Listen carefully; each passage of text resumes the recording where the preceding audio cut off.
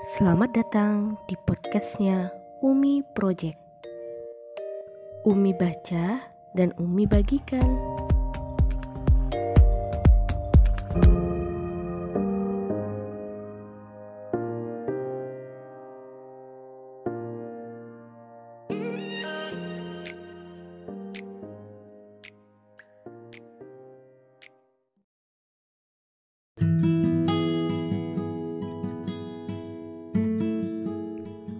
Assalamualaikum, kembali lagi di Umi Project.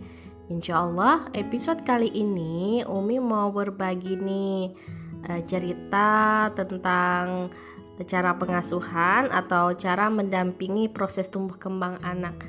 Kali ini Umi mau nge-review salah satu buku yang bestseller atau recommended banget untuk kepada orang tua yaitu bukunya Pak Cah udah udah kenal kan ya pasti ya sama Pak Cahyadita Karyawan yaitu bukunya yang berjudul Wonderful Parent.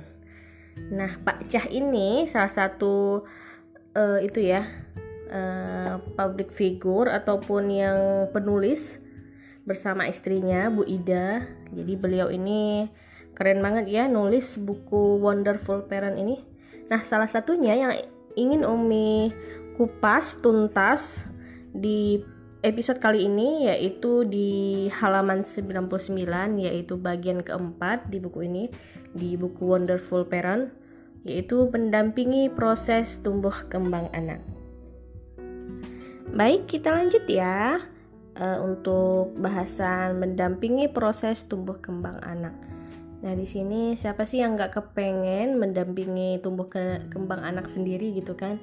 Eh, jadi meskipun ada orang tua yang memilih untuk produktif di luar alias uh, memilih untuk uh, kerja misalnya bekerja gitu kan tapi kan sudah pasti gitu naluri seorang orang tua itu pasti kepengen uh, full mendampingi tumbuh kembang anak meskipun nggak hadir secara fisik gitu.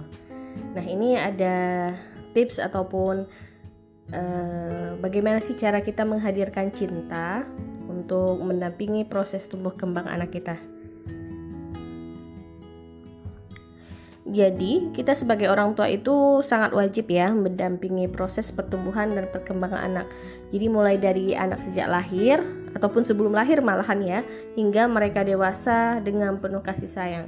Sebenarnya di dalam agama Islam itu uh, telah memberikan banyak pandangan atau atau contoh ya bahwa uh, memberikan bimbingan dan pendampingan bagi uh, orang tua untuk anak itu malah dilakukan pada sejak janin gitu masih dalam kandungan.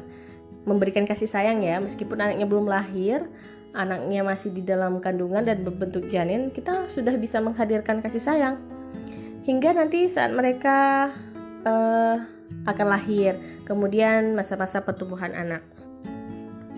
Namun tugas orang tua itu nggak cukup uh, sampai cuma sekedar memenuhi apa sih kebutuhan anak misalnya ya. Misalnya anak udah lahir ya dikasih kebutuhannya misalnya pangan pakaian seperti itu. Enggak enggak cukup situ. Karena kita sebagai orang tua itu harus menghantarkan anak-anak menuju kedewasaan. Nah tugas ini tanggung jawab ini nih yang berat. Anak-anak memerlukan pendampingan dari orang tua untuk mengarahkan mereka kemudian mereka juga butuh dimotivasi. Kemudian uh, mereka juga membutuhkan kita ketika mereka itu mengalami kesulitan. Dan sekaligus uh, kita juga itu penting ya untuk meluruskan segala hal yang um, terjadi gitu. Misalnya ada kesalahan di perilaku baik perilaku sikap di anak-anak kita. Nah kali ini Umi itu mau uh, membacakan ada beberapa kisah ya. Bagaimana sih menjadi orang tua yang penuh cinta? Nah, seperti apa sih kira-kira menjadi orang tua yang penuh cinta itu? Ini di bukunya Pak Cah di Wonderful Parent ada sebuah kisah. Uh, ada yang mau mendengarkan kisah ini? Nah, begini kisahnya. Alkisah di sebuah kampung nan jauh dari kota, seorang ayah termenung sedih memikirkan anak lelakinya yang sudah lama pergi meninggalkan rumah tanpa pamit. Sang ayah merasa menyesal setelah anaknya kabur dari rumah. Ia merasa selama ini terlalu sering berlaku kasar dan memperlakukan anak lelakinya secara tidak baik. Ia berpikir keras bagaimana cara menemukan kembali anaknya dan mengajaknya pulang ke rumah. Ia menemukan akal ia pergi ke kota untuk memasang pengumuman dengan selembar kertas di depan game station di pusat kota. Tempat dulu anaknya sering berkumpul dengan teman-temannya untuk bermain aneka game. Begini isi dari uh, pengumuman yang ditulis oleh sang ayah. Budi, pulanglah nak. Ayah dan ibu merindukanmu. Ayah dan ibu sudah memaafkan semua kesalahanmu maka pulanglah, datanglah ke halte depan game station ini hari Sabtu pukul 10 pagi. Ayah dan ibu akan menjemputmu. Salam sayang, ayah dan ibumu di kampung. Pada hari, tanggal, dan jam yang telah dituliskan oleh sang ayah di pengumuman tersebut, ayah dan ibu datang ke halte depan game station. Betapa terkejutnya mereka berdua karena di halte telah berkumpul 150 anak lelaki bernama Budi yang ingin pulang ke rumah masing-masing dan ingin mendapat kasih sayang orang tuanya. Kisah fiktif di atas sudah sering diceritakan sih ya di dalam beberapa forum. Kisah sedih tentang anak-anak yang tidak mendapatkan cinta, perhatian, serta kasih sayang dari orang tua mereka. Anak-anak yang memilih asik bermain dengan komputer ataupun gadget anak-anak yang memilih kabur dari rumah, kemudian anak-anak yang memilih berteman dengan kehidupan jalanan karena merasa tidak betah di rumah. Kenapa? Nah, ini alasannya. Di rumah, mereka tidak menemukan figur yang mereka inginkan. Yang ada adalah seorang ayah yang super sibuk dan ibu yang kelelahan serta uring-uringan di rumah. Yang ada adalah bentakan, hardikan, pukulan, dan kemarahan. Yang ada adalah celaan dan malah ejekan. Akhirnya, mereka tidak betah di rumah dan memilih kabur untuk hidup bebas di jalanan. Namun, sesungguhnya mereka rindu ingin pulang. Sesungguhnya mereka itu merindukan ayah yang memiliki waktu luang untuk menemani mereka bermain dan belajar ayah yang tidak pernah membentak dan menghardik, ayah yang lembut dan penuh perhatian, ayah yang penuh kasih sayang. Mereka juga merindukan ibu yang sabar, sabar membersamai aktivitas saat di rumah, ibu yang tidak pernah marah-marah dan memaki, ibu yang penuh kasih sayang dan kelembutan. Kemudian mereka juga menginginkan ibu yang penuh pengertian. Sebenarnya mereka merindukan orang tua yang penuh cinta, orang tua yang membimbing dan memahami mereka dengan penuh cinta. Nah, berikan itu semua untuk anak-anak Anda sebelum mereka kecewa dan memilih kabur meninggalkan rumah. Nah, dari kisah di atas tadi bahwa memang e, sebenarnya anak-anak itu sangat membutuhkannya, sangat tergantung sama orang tua ya sebenarnya tapi karena kondisi, karena sesuatu dan lain hal, karena suasana juga yang mungkin membentuk karakter baru di anak tersebut. Gitu. Dan itu pun semuanya ya pasti sumbernya adalah orang terdekat yaitu kita sebagai orang tua. Nah di buku Pak Cah ini di Wonderful Parent ada disebutkan bahwa bentuk cinta dan kasih sayang orang tua kayak gimana sih sebenarnya bentuk cinta dan kasih sayang orang tua? Apakah santai-santai aja anaknya salah nggak dimarahin? Karena kalau mau marahi itu berarti bentuk nggak sayang. Bukan begitu juga. Nah begini. Sangat banyak bentuk cinta dan kasih sayang orang tua kepada anak-anaknya. Sayangnya banyak yang terjebak hanya dalam pemenuhan kebutuhan material semata-mata. Misalnya membelikan hadiah smartphone kemudian memenuhi uh, apa pun permintaan anak-anak. Misalnya harus minta ini dibelikan. Meminta itu minta mobil minta motor dan segalanya. Padahal anak tidak hanya memerlukan pemenuhan kebutuhan material aja kan? Mereka memiliki kebutuhan yang utuh karena mereka adalah manusia yang utuh kejiwaannya Di antara bentuk cinta orang tua kepada anak-anak adalah yang pertama ini di buku Wonderful Parent dibahas bahwa yang pertama ini dengan mendidik, membimbing dan mengarahkan. Nah, ini bentuk cinta yang pertama ya. Salah satu bentuk kasih sayang orang tua kepada anak-anak adalah mendidik dengan pendidikan terbaik, membimbing serta mengarahkan mereka menuju jalan kebenaran dan kebaikan mencetak mencetak anak-anak menjadi generasi beriman, bertakwa, berkualitas yang akan menjadi penerus pembangunan bangsa dan negara. Kemudian mendidik dilakukan sejak di dalam rumah, bukan bukan saja dititipkan ke sekolah dan madrasah. Orang tua harus membimbing dan mengarahkan anak-anak menuju surga. Nah, tugas yang pertama, tugas e, madrasah yang pertama ya kita sebagai orang tua yang ada di rumah. Pendidikan seperti apa yang sudah kita berikan kepada anak selama di rumah bimbingan dan pengarahan seperti apa yang sudah kita berikan kepada anak-anak, kemudian teladan seperti apa yang sudah kita berikan kepada anak-anak. Hendaknya kita sebagai orang tua itu berusaha memberikan pendidikan, bimbingan, pengarahan yang terbaik untuk anak-anak. Jadi ini PR-nya adalah kita, kita sebagai orang tua ya. Uh, yang harusnya dulu berbenah itu ya kita sebagai orang tua. Ketika kita sudah berbenah berusaha berbenah maka nanti uh, berdampak baik gitu kan. Nah, misalnya kita berusaha untuk uh, lebih lebih baik itu misalnya nggak nggak mudah marah misalnya bisa mengatur waktu seperti itu. Jadi hal-hal lain yang uh, misalnya seperti pendidikan membimbing dan mengarahkan itu akan berjalan baik juga. Nah ini adalah uh, ada bentuk cinta dan kasih sayang itu yang kedua bentuk cintanya itu yaitu dengan doa dan pengharapan. Orang tua yang penuh kasih sayang akan selalu mendoakan anak-anaknya. Ayah dan ibu harus memiliki pengharapan dan optimis akan masa depan anak yang penuh kejayaan dan kebahagiaan. Jadi kita sebagai orang tua itu tidak putus-putus ya, selalu berdoa dan berharap untuk kesuksesan anak di dunia maupun di akhir kelak. Orang tua tidak akan merelakan anak-anak hidup dalam kesulitan, maka mereka selalu memanjatkan doa permohonan kepada Allah untuk anak-anak. Contohnya di sini, pada setiap usai sholat lima waktu, tidak lupa ayah dan ibu mendoakan anak-anak agar menjadi soleh dan solehah. Pada saat bangun dan untuk sholat malam, ayah dan ibu mendoakan setiap anak dan menyebut namanya dalam doa. Apalagi di saat menunaikan ibadah haji atau umroh, ayah dan ibu mendoakan secara khusus semua anak-anaknya untuk kebaikan mereka. Nah, di sini ternyata uh, usaha apa pun yang kita lakukan itu kalau misalnya tidak melibatkan Allah gitu ya uh, akan nggak berarti itu akan sia-sia juga.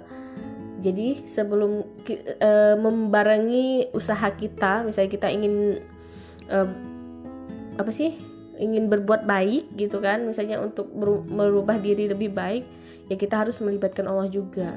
Dengan berdoa dengan penuh harapan minta bantuan gitu nggak nggak masalah. Kita minta bantuan sama Allah untuk ya di dimudahkan dilancarkan dalam segala urusan kita dalam mendampingi anak-anak.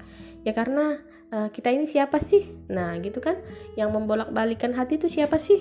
Kan Allah semua kan? Jadi sebisa mungkin itu untuk setiap langkah kita setiap rencana setiap usaha itu maksimal mungkin kita melibatkan Allah di dalamnya Nah, ini bentuk cinta dan kasih sayang itu yang ketiga ini adalah dengan kata-kata positif.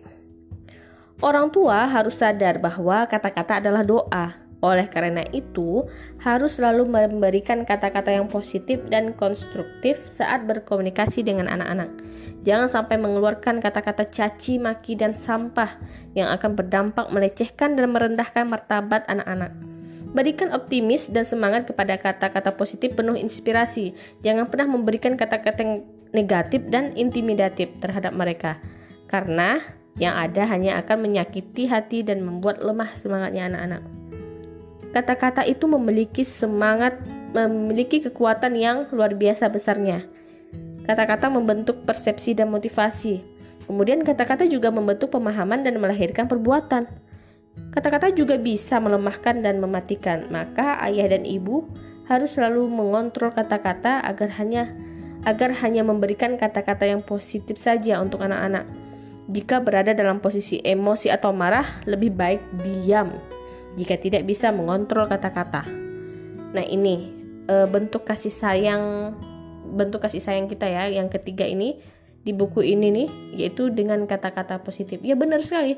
Kata-kata itu adalah doa gitu. Memang sulit ya. Memang sulit sangat sulit ya. Apalagi kita dalam kondisi yang sedang marah sedang emosi ya. Uh, akan sangat sulit gitu mengontrol uh, ucapan kata-kata. Maksudnya adanya tuh pengen marah aja pengen ngeluapin aja gitu emosi ya kan tapi di sini ditekankan bahwa kalau misalnya kita lagi marah ya cukup diam saja diam gitu. Kalau nggak diam ya mungkin yang keluar tuh eh, nggak terkontrol gitu ucapannya.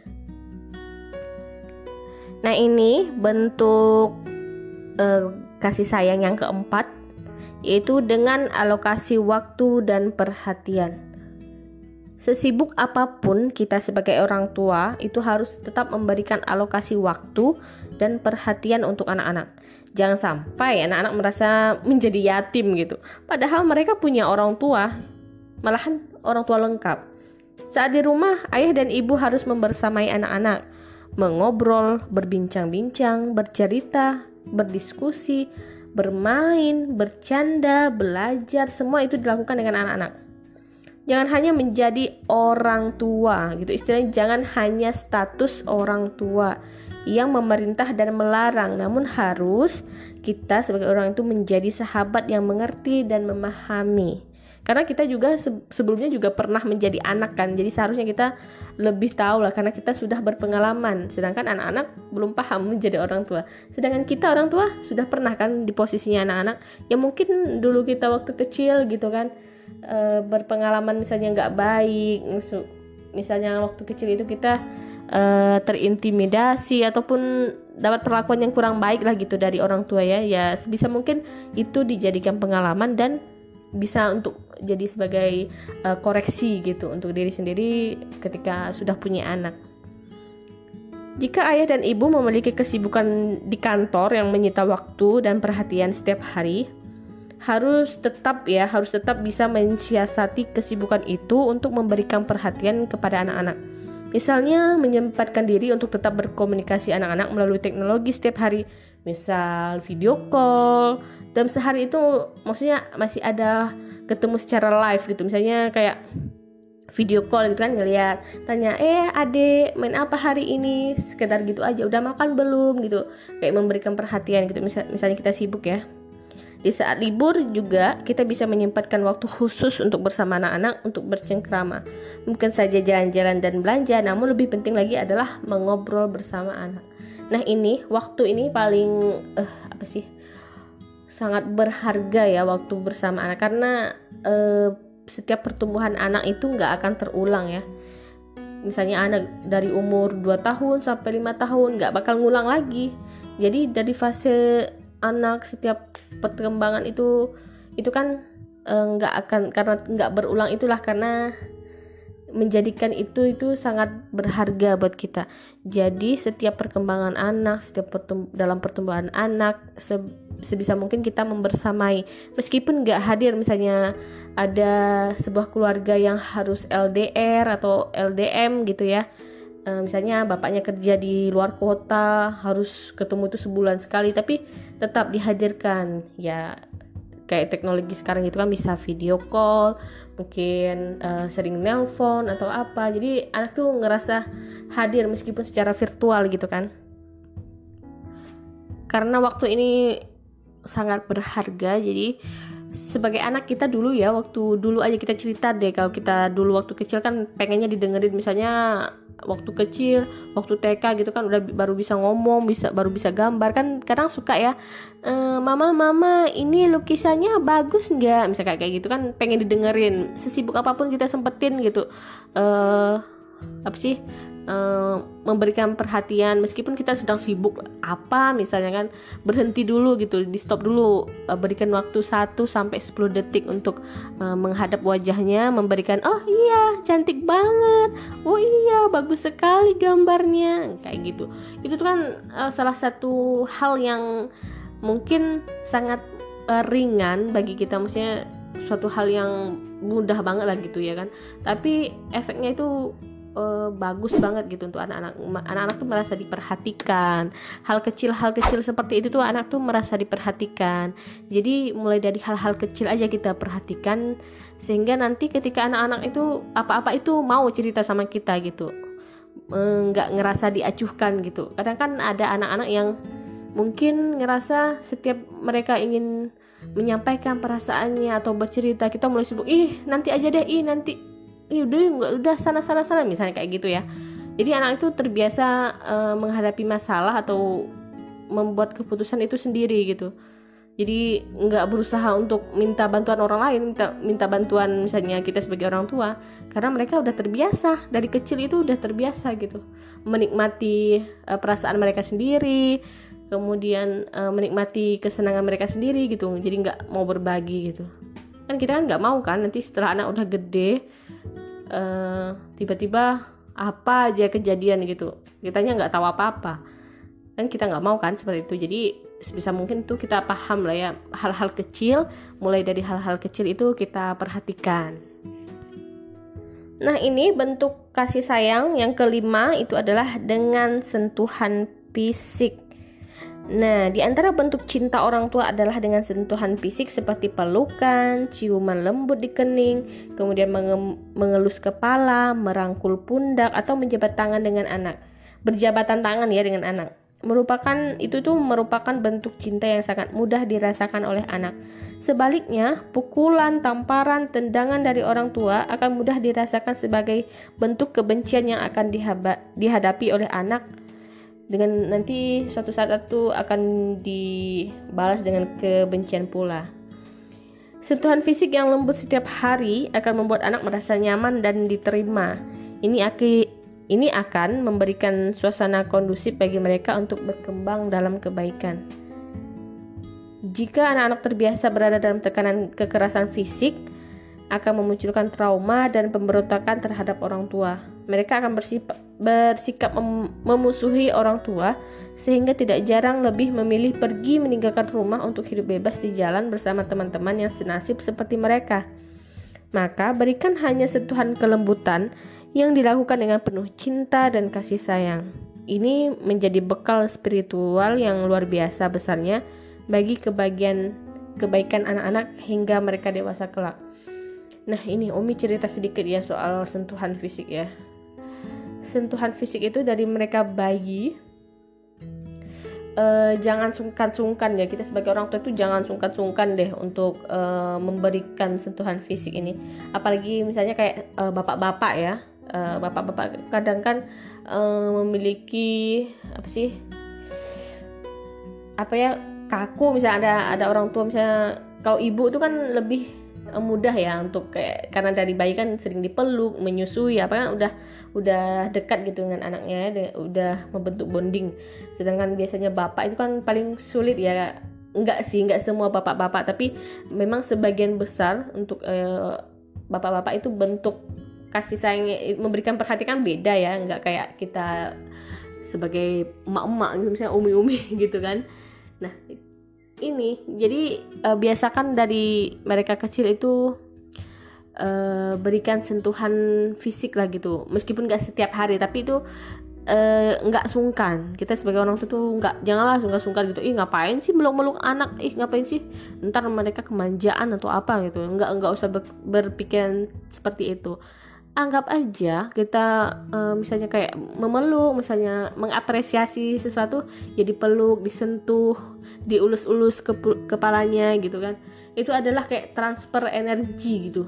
Kalau Umi ngelihatnya itu kayak mentransfer bonding cinta gitu kan kasih sayang. Anak-anak tuh akan merasakan uh luar biasa bahagianya gitu.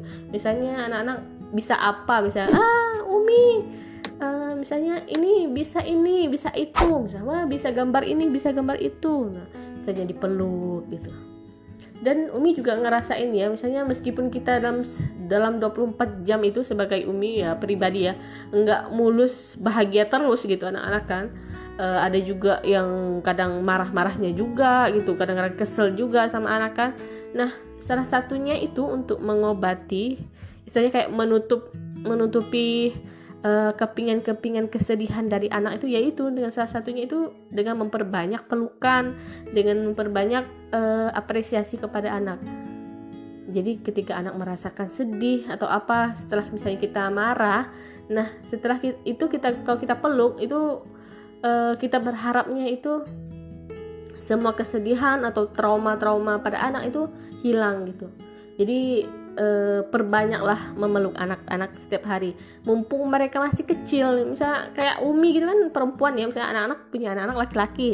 Nah mumpung mereka itu masih kecil masih bebas untuk kita peluk atau apa kalau udah gede kan wah lain cerita kan misalnya malu dipeluk peluk orang tua gitu kan. Nah bebasin aja. E, dari kecil itu dibiasakan itu. Dalam sehari itu kalau bisa tuh minimal lima kali lah dalam momen apa pun lah itu. Misalnya uh, setelah mandi misalnya kan ah peluk dulu sini. Kayak gitu. Uh, jangan juga jangan juga jangan lupa juga untuk eh, nggak uh, sungkan untuk bilang ah umi sayang sama anak-anak ah, abi sayang sama anak-anak gitu. Uh, kayak seolah-olah memberikan apa sih uh, memberitahu ya kepada mereka bahwa uh, kita itu sebagai orang tua itu sayang gitu sayang sama uh, mereka. Jadi ketika uh, ada momen yang tidak dalam kutip tidak mengenakan misalnya marah-marah atau kesal. Tapi ketika kita berikan transfer energi cinta itu kayak memeluk uh, dan memberikan apresiasi uh, mungkin mereka akan lupa hal-hal uh, yang buruk terjadi gitu kan. Nah mungkin itu uh, episode kali ini Umi bercerita tentang uh, bagaimana sih membersamai anak dengan penuh kasih sayang.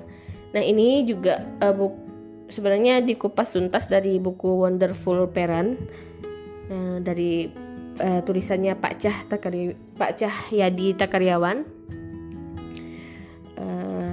dan beberapa juga pengalaman pribadi ya yang Umi sertakan tadi.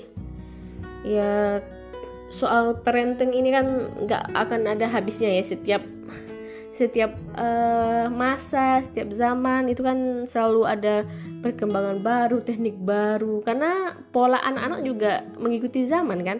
Jadi misalnya uh, pola pengasuhan zaman dahulu, zaman dahulu yang sebelum ada teknologi canggih itu kan pasti berbeda dengan yang zaman sekarang itu super duper uh, penuh dengan teknologi yang mempengaruhi perilaku dan karakter anak-anak jadi kita sebagai orang tua tua itu juga harus semangat, harus optimis, namun tetap rileks gitu kan eh, dalam menghadapi uh, tingkah pola anak-anak. Ya dari kecil ini kita berusaha untuk uh, selalu belajar lah ya bagaimana bagaimana menghadapi anak-anak ketika mereka dewasa um, beranjak dewasa dari remaja sampai menuju dewasa.